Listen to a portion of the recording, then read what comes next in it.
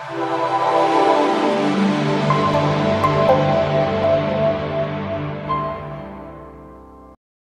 now I'm starting to feel bamboozled over here, like Spike Lee bamboozled. So apparently, the animated character J-Bo from Jay-Z's Story of OJ music video is prepped to take on a life of his own. TMZ reports that Jay-Z's Carter Enterprises recently filed documents to trademark J-Bo, a character influenced by Sambo, featured in the story of Little Black Sambo, a children's book from 1899, and the character Dumbo from the Disney cartoon from 1941. Among these items could be a J-Bo mug, t-shirt, cocktail shaker, dinnerware, blankets. I really don't know how I feel about this. It literally feels like a scene out of Bamboozled where the two guys got on stage, started acting like coons, and then everybody in America wanted to have that on their face, on the shirts, for the this, for the that. It's weird. What TMZ forgot to mention is he's not just doing t-shirts and mugs. If you look, I actually looked it up. If you go on the trademark site, he actually trademarked it like 16 times for like so many different items, from like furniture to like lotions to candles. I don't know how. I don't know whether he's just protecting it so other people don't use the likeness of the character and you know exploit it, or if he's really planning on marketing this image